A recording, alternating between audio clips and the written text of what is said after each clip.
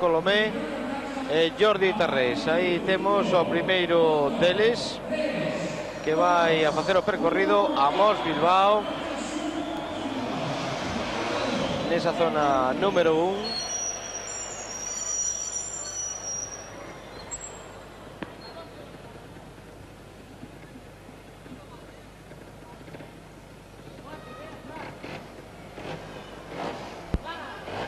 Lembramos que tendo en conta a actuación na ronda clasificatoria a Mos Bilbao conseguiu salvar como agora a cero esta zona. E preséntase unha fase final realmente apaixonante con eses tres pilotos que precisamente tamén van no Campeonato do Mundo. Primeira posición para Jordi Terresa, segunda para Marco Lomé a cuarta para Mos Bilbao por trás de Tommy Avala no Campeonato de España. Jordi Terres, Marco Lomé e Amos Bilbao son os tres primeiros. E aí temos o piloto de Montesa nesa zona número 2.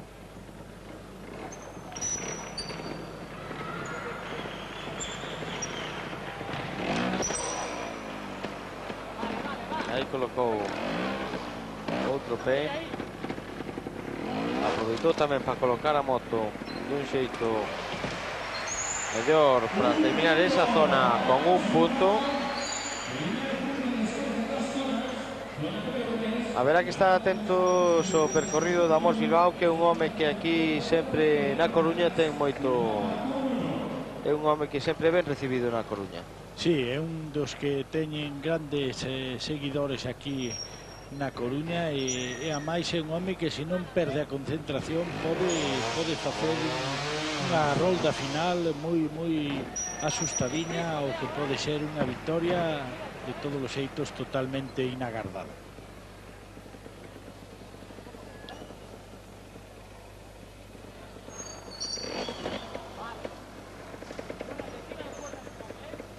No momento máis eh, difícil do percorrido da zona 3 e consegue rematar a cero aínda que de aquela maneira.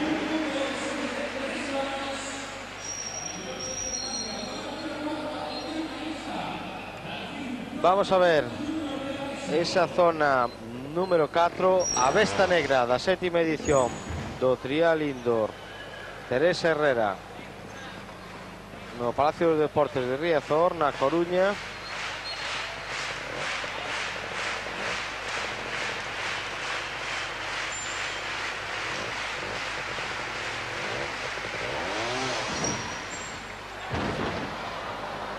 Eh, e xa ven, cinco puntos, primeiro fiasco para é seguro, Amos Bilbao. É seguro que o piloto cántrabo vai facer esa zona en algún sitio a carón da súa casa e vai na práctica para que non lle volva a pasar isto de sair eh, con eh, dous fiascos na mesma zona. Sí, realmente é todo un reto para, para todos os participantes esa zona número 4. Vamos Bilbao, atacando a zona número 5.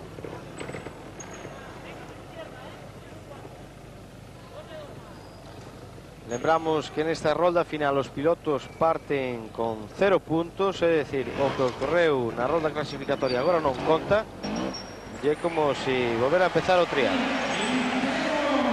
Cero puntos, seis no seu total,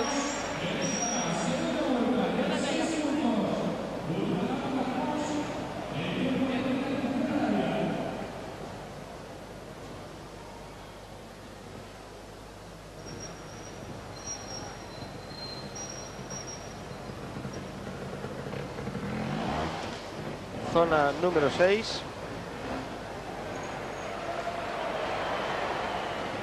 Problemas para Mos Bilbao.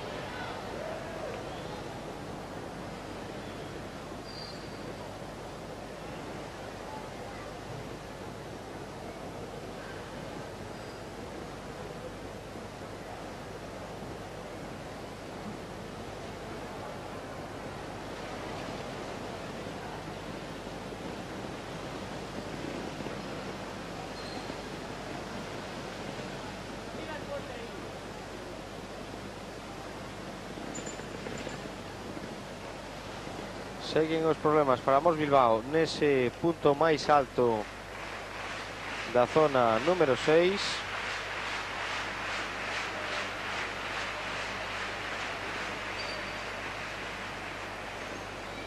e pensamos que os suíces van a conceder cinco puntos. Fiasco para Amos Bilbao. 11 puntos no total da súa actuación dentro desas seis zonas nas que tamén pode penalizar o tempo.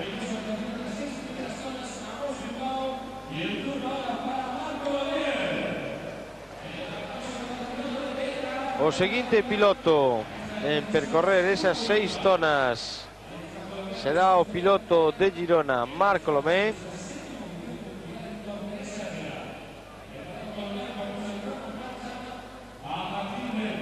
eu penso que esta era a mellor das finais posibles. Estes tres homes que, que por decirlo de alguna, de alguna forma, teñense moitas ganas. Sin dúbida, e máis é eh, sempre un do sen pronóstico, aínda que que bueno, que, que pode ser un de partir por un ou por outro, pero pero bueno, Bilbao é un home que está aí sempre, que se non perde a concentración pode dar un susto. Colomel estámolo a ver como como están lle saindo o trial Indura e Tarrés, pois, bueno, é o indiscutible dominador, claro, pero, bueno, de todos os xeitos non, non se sabe nunca como poden quedar as cousas. Comezou Marco Lomé, cun cero o seu percorrido. Aí está atacando a zona número 2.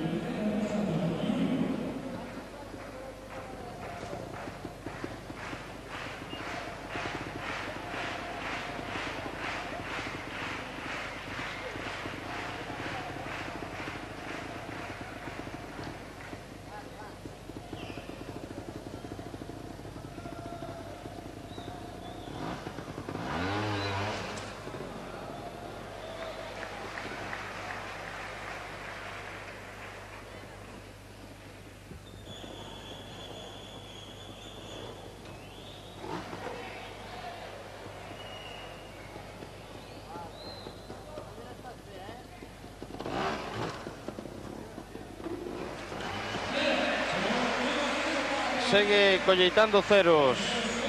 Despois de dúas zonas Mar Colomé. A zona número 3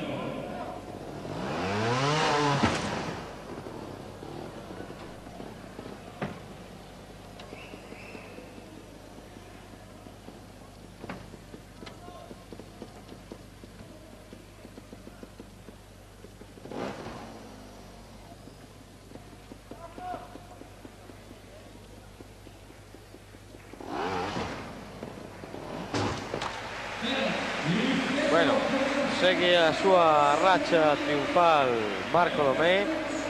Nestes intres, na fase final, é o mellor clasificado.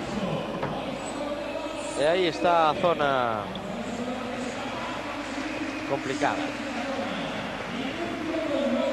E agora verase se confirmase o que sole ser habitual que sempre na segunda volta donde teñen, donde tiveron dificultad na primeira solen eh, resolvelo moito mellor. Aí ten problemas Marco Lomén.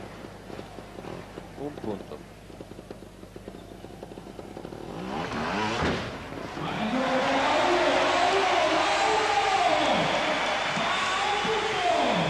Ata aí tamén chegou Johnny Terré, despois confirmouse o fiasco polos pés que puso no champ pero Marco Lomé é o primeiro que pasa esta zona a un punto. Con lo cual xa temos o que estábamos a decir de que, de que a segunda volta sempre moito millor para eles porque os erros eh, os adiviñan unha vez que, que, que lles pasa na primeira volta procuran eh, e conseguen case sempre non repetir. Estamos ante a zona máis fácil a vista dos resultados. Colomé foi con a bala o único que penalizou nesta zona durante este sétimo trial indoor Teresa Herrera. Pero agora salva con cero puntos, un punto no total do, da súa actuación e vaya marcador como vai ter Jordi Tarrés con este parcial de chegando a cinco zonas con tan só un punto.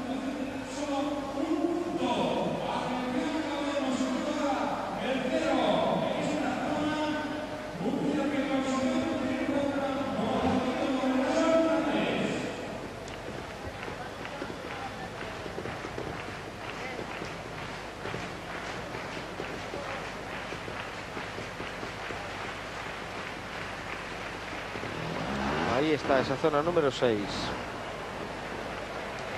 que foi a causante do gran fracaso xunto coa número 4 de Amos Bilbao. Que xiro dá o piloto catalán. Como gusta, mira o público, como lle aplaude. E, sin dúbida, o fixo millor que ningún dos seus rivais. Realmente, independente dos problemas que poda ter agora, Marco Lomete en xestos técnicos exquisitos. Impresionante. Señalidades, como Serino Argó, que son de unha altura increíble. Un punto na catarata. Un total de dous. Co cual Jordi Tarrés vai ter que afinar moi moito ese no Santoxa oh. que será na cuarta zona donde se decida o, o gañador deste trial indoor da Coruña.